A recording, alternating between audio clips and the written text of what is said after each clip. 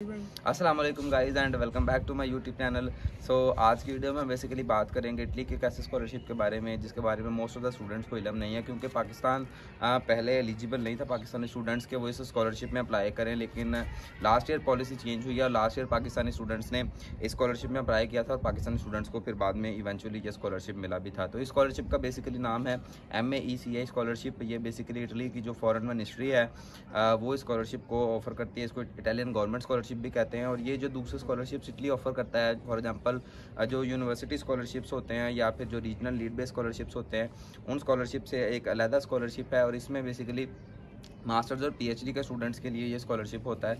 उसके अलावा जो ऐसे स्टूडेंट्स जो इटली में लैंग्वेज कोर्सेज़ के लिए जा रहे होते हैं इटालियन लैंग्वेज के कोर्सेज़ के लिए या फिर जो आर्ट्स के और या डांस वगैरह के म्यूज़िक के जो स्टूडेंट्स होते हैं, उनके लिए ये स्कॉलरशिप है। इसमें बेसिकली आपको किन किन डॉक्यूमेंट्स की ज़रूरत पड़ती है, कब आपने इसके लिए अप्लाई करना है तो आज की वीडियो में हम इन सब चीज़ों के बारे में बात करेंगे। तो आप सबसे पहले चैनल को सब्सक्राइब कर दें और वीडियो को एक लाइक ज़रूर कर दें। इस स्कॉलरशिप में बेसिकली मास्टर्स और पीएचडी के स्टूडेंट्स ही मेनली अप्लाई करते हैं और इसमें बेसिकली अप्लाई करने के लिए जो पोर्टल है वो स्टडी इन इटली जो पोर्टल है वो ऑफिशियल पोर्टल उसके ऊपर ही आप अप्लाई करना होता है अकाउंट को बना के। तो अभी लास्ट ईयर की अगर हम बात करें तो लास्ट ईयर जो इनके एडमिशन थे या जो पोर्टल था वो सोलह मई को ओपन हुआ था और ये तकरीबन नौ जून तक ओपन रहा था। तो अभी होपफुली ये इसी, इस सोलह के आसपास, सोलह मई के आसपास ये पोर्टल दोबारा ओपन होगा।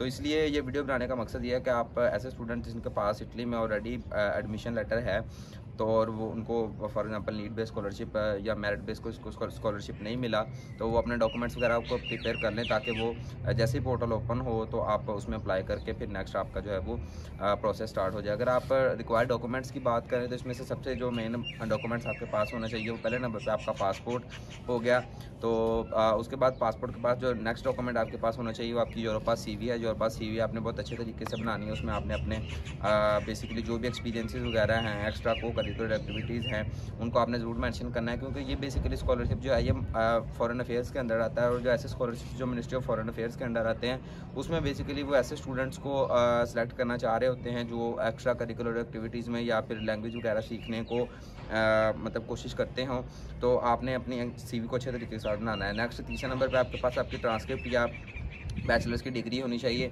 अगर आपके पास डिग्री नहीं है तो आप होप सर्टिफिकेट की बेस पे भी अप्लाई कर सकते हैं। और उसके बाद नेक्स्ट डॉक्यूमेंट जो आपके पास ज़रूरी होना चाहिए, वो आपने एक एसओपी या मोटिवेशन लेटर अपलोड करना होता है। वो बेसिकली वन थाउज़ेंड वर्ड्स का होना चाहिए। और मोटिवेशन लेटर के बारे में मैं एक अलग वीडियो डाल दूँगा। क्योंकि मैंने भी लास्ट ईयर इसे स्कॉलरशिप में अप्लाई किया था और मैं इसमें सेलेक्ट हो गया था तो इसलिए फिर मैं आपको अच्छे तरीके के साथ गाइड कर दूँगा किसी दूसरी वीडियो में। उसके बाद फिर नेक्स्ट जो आपके पास डॉक्यूमेंट होना चाहिए, वो आपके रिकमेंडेशन लेटर्स हैं, जो आपने यूनिवर्सिटी से आपने जिसने आपसे पढ़ा होता है, आपने अपने एसोसिएट प्रोफेसर वगैरह से रिकमेंडेशन लेटर लिया होना चाहिए और आप रिकमेंडेशन लेटर को वहाँ पर अपलोड करेंगे। यही मेन डॉक्यूमेंट्स होते हैं। उसके अलावा जो लास्ट डॉक्यूमेंट है, वो आपके पास इंग्लिश अगर आप इंग्लिश डॉट प्रोग्राम्स में जा रहे हैं तो आपके पास बी लैंग्वेज का सर्टिफिकेट होना चाहिए। आप इंग्लिश प्रोफेशनसी लेटर की बेस पर भी अप्लाई कर सकते हैं, लेकिन अगर आपके पास आइल्स या टोफिल वगैरह है तो एटलीस्ट बी लेवल का होना चाहिए। तो इन डॉक्यूमेंट्स के साथ आपने अप्लाई करना होता है। और अगर आप स्कॉलरशिप के बेनिफिट्स की बात करें तो इसमें बेसिकली आपकी ट्यूशन फ़ीस जो है, वो सारी ख़त्म हो जाती है। दूसरे स्कॉलरशिप्स की तरह। उसके बाद आपको, आपकी जो हेल्थ इंश्योरेंस होती है और ये भी इस स्कॉलरशिप के थ्रू आपकी कवर हो जाती है और उसके अलावा आपको पर मंथ अगर आप बात करते हैं तो नाइन हंड्रेड यूरोज़ आपको पर मंथ आपके बैंक अकाउंट में ट्रांसफ़र हो जाते हैं। तो ये स्कॉलरशिप जो है ये बेसिकली सिक्स मंथ से लेके नौ मंथ तक आपको इनिशियली आपको ग्रांट होता है, लेकिन जब आपके नौ मंथ वहाँ पे गुजर जाते हैं, आपका एक साल कंप्लीट हो जाता है तो आप इस स्कॉलरशिप को रिन्यूअल के लिए अप्लाई कर सकते हैं। तो वो बस यही चेक करेंगे कि आपका ओवरऑल जो कंडक्ट था वो इटली में स्टे में वो कैसा था और क्या आपने स्टडी की रिक्वायरमेंट्स को फुलफ़िल किया। अगर आप पहले साल में दोनों सेमेस्टर में अच्छे तरीके से पास हो गए हैं तो आपकी स्कॉलरशिप को दोबारा रिन्यू भी कर देंगे। तो इस बहुत अच्छी अपॉर्चुनिटी है, क्योंकि इसमें फिर आपकी बैंक स्टेटमेंट की आपको ज़रूरत नहीं रहती। जब आपको एम एस स्कॉलरशिप मिल जाता है। और ये बेसिकली जैसा कि मेरिट बेस्ड स्कॉलरशिप की तरह ही होता है, क्योंकि जो नीट बेस्ड स्कॉलरशिप इटली का होता है, उसको हम एम्बेसी को शो नहीं कर सकते। वो आपको वहाँ पर जाके अप्लाई करना पड़ेगा। लेकिन ये बात आपने जहन में रखनी है कि इस स्कॉलरशिप के साथ आप कोई और स्कॉलरशिप अवेल नहीं कर सकते।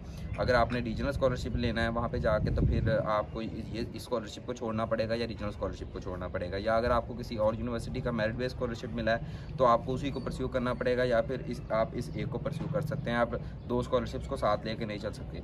तो बाकी अगर जब आप वहाँ पे अप्लाई कर देते हैं तो उसको कुछ दिन बाद फिर जो इटालियन एम्बेसी होती है, वो कुछ स्टूडेंट्स को 10-12 स्टूडेंट्स होते हैं ऑल ओवर पाकिस्तान उनको शॉर्ट लिस्ट करते हैं और उनको शॉर्ट लिस्ट करने के बाद फिर इस्लामाबाद एम्बेसी या फिर कराची कौंसलेट जो होता है, वो उनको ईमेल्स करके कोई स्पेसिफिक टाइम देता है कि आप इस टाइम पर अपने डीओवी के डॉक्यूमेंट्स लेके आ जाएँ और अपने और अपने दूसरा इंटरव्यू के लिए आप वहाँ पर एम एम से सी स्कॉलरशिप के लिए इंटरव्यू के लिए आप वहाँ पर पेश हों तो फिर वहाँ पर इंटरव्यू का एक्सपीरियंस किस तरीके के साथ रहता है, वो मैं इंटरव्यू के लिए भी वहाँ पर गया था। तो वो हम नेक्स्ट वीडियो में बात करेंगे और इंटरव्यू में आपको आपसे कौन कौन से क्वेश्चन पूछे जा सकते हैं ये भी मैं नेक्स्ट वीडियो में आपको डिटेल के साथ बताऊँगा। तो अभी के लिए अगर आपके पास इनमें से कोई भी डॉक्यूमेंट मिसिंग है तो आप अपने डॉक्यूमेंट्स जो हैं उनको प्रिपेयर कर लें।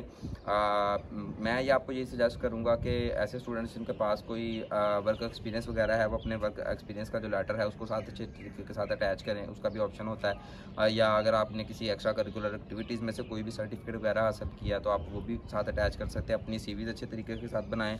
और उसके अलावा एक रिकमेंडेशन लेटर्स अगर आपने अभी प्रोफेसर से आप बना सकते हैं तो रिकमेंडेशन लेटर्स को अच्छे तरीके के साथ थोड़ा सा चेंजेस करवा के उसको तो वो अच्छा सा बनाएँ ताकि आप स्कॉलरशिप के लिए एलिजिबल हो सकते हैं। बाकी आपने अगर इस स्कॉलरशिप के बारे में कोई भी इन्फॉर्मेशन लेनी है तो वो आप स्टडी इन इटली जो ऑफिशियल इटालियन मिनिस्ट्री की वेबसाइट है, उसके ऊपर आप जाके इनकी डिटेल्स पढ़ सकते हैं।